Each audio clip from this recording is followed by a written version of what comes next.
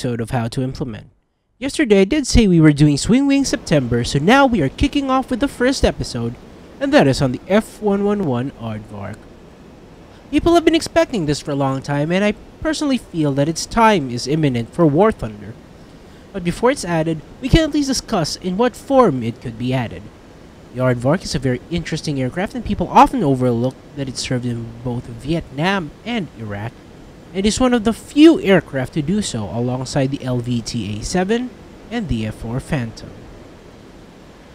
The F-111 Aardvark was born out of a joint Navy and Air Force requirement for a high-speed heavy armament two-seater aircraft. As the variable geometry design started to gain traction, this aircraft was also most likely to have it. The Department of Defense then issued a directive to both branches to cooperate in developing a single aircraft that could meet their respective requirements. This led to a decision where the Air Force could design the plane and would modify it for the Navy requirements. While they agreed on the variable geometry heavy armament high speed and two-seater requirements, the Air Force wanted a tandem seat aircraft a la F-4 Phantom for low altitude interdiction, while the Navy wanted a side-by-side -side configuration that of the S-3 Viking for a high altitude interceptor which shared radar display with the pilot.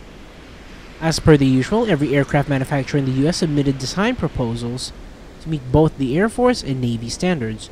and General Dynamics won due to the commonality between their Air Force and Navy designs. The aircraft, officially designated the F-111, entered flight testing in 1963 and combat evaluation in 1968, participating in the last sorties of Operation Linebacker and in Operation Linebacker 2. It left Vietnam with 4,000 combat missions and only 6 combat losses. These aircraft would serve until 1996 and would have many developments including an electronic warfare variant and a variant for the Royal Australian Air Force.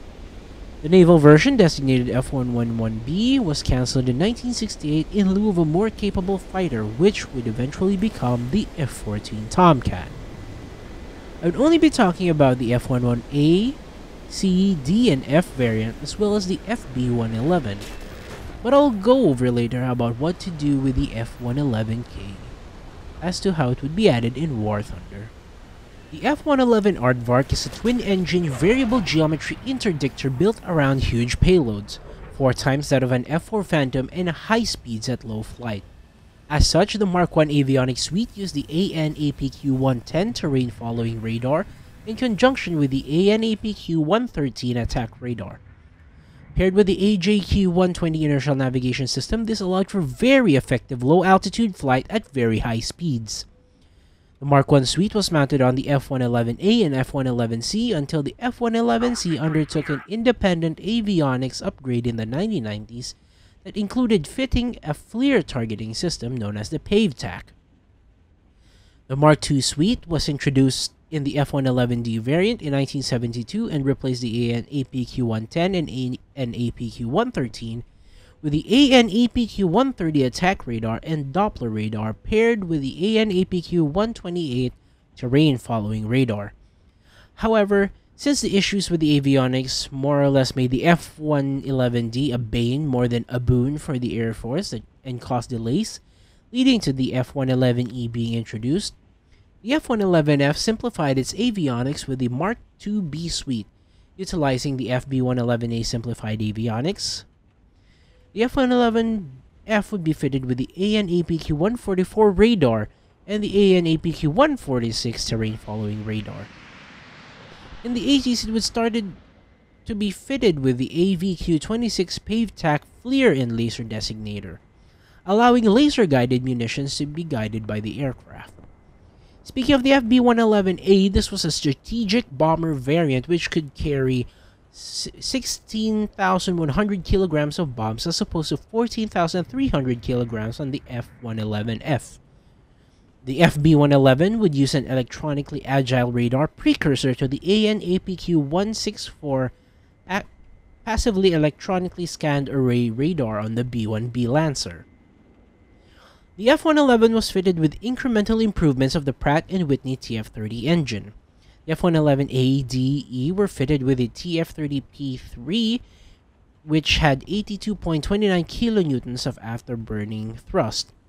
The later E variants, along with the F, received an engine upgrade to the TF30P109 at 92.70 kilonewtons of thrust. All F111 variants received the AN ALE chaff and flare dispensers and the AN APS 109 RWR for the Mark I suite and the AN ALR 62 RWR on the Mark 2B suite. The F111, being an interdictor and strategic bomber, did not fit an onboard gun. However, a 20mm M61 was sometimes installed on the weapons bay on all variants except the FB111A and Pave Tack equipped F111C and F111Fs.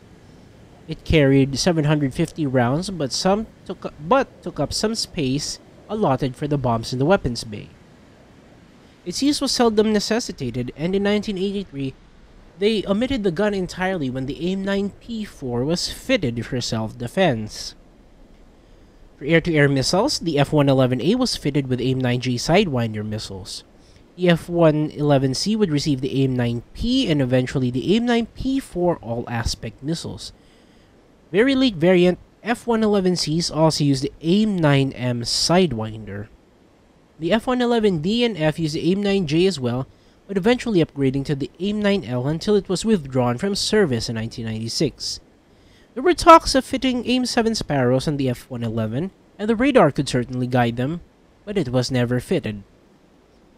The ground ordnance of the F-111 consists of 14,300 kilograms of munitions, which include Mark, Mark 82 500-pound bombs, Mark 83 1,000-pound bombs, Mark 84 2,000-pound bombs, and the Mark 117 750-pound bombs.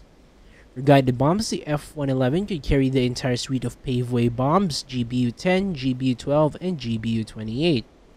Would also carry the GBU-15 electro-optical bomb and the G AGM-130, a rocket-boosted version of the GBU-15.